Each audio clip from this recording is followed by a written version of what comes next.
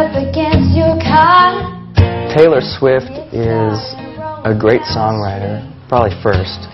A great vocalist, probably first.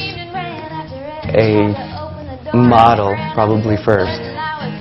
She's just all these these incredible things. There's nobody like her out there. And it would take five years to leave you. It takes five seconds to I've basically been singing all my life, and I started writing when I was 12, and that's when I first picked up a guitar and started playing. Pretty girls couldn't see you. It said every road would lead to right I've been writing ever since, and it's my favorite thing to do. until Brad Pitt comes along. She's such a great writer. She has a great attitude. She's a hard worker. She's a teenager. Have three alternate outfits. Outfit number one, two, and three. What about, do you want a necklace? I have that necklace. Yeah, definitely. I don't think it'd be the choker. It doesn't come off. Scissors will take it off. I'm emotionally attached to the choker. Okay, sounds good. Take care, guys. All right. I'm driving. You can't stop me. Well, I got my permit last year after I went three times and failed the test, like each time. Go, go, go, go, go! Ha ha! I'm least skilled at like all the rules of driving.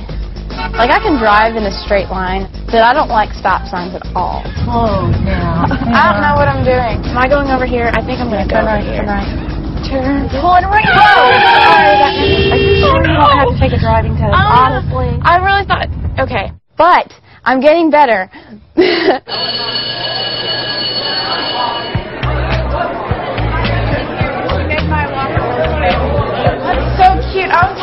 about that like, yesterday, and I was like, I was like, don't worry, you and Autumn are so cute together. And is this our room? Yeah. to the republic for which it stands. Taylor and Chris, I'm the most competitive person I know. find Nalpa bonus. I just got my report card back, and I have straight A's. Okay. I'm really happy. Chris, you've been had, buddy. My dad said that he's really impressed with your music. He wanted me to tell you that. Really? We listened to your He said you sound like you're like 25. I do sing. It's who I am. But, you know, there's always a huge fear of failure and rejection. You have nightmares about it. Everybody does. Just another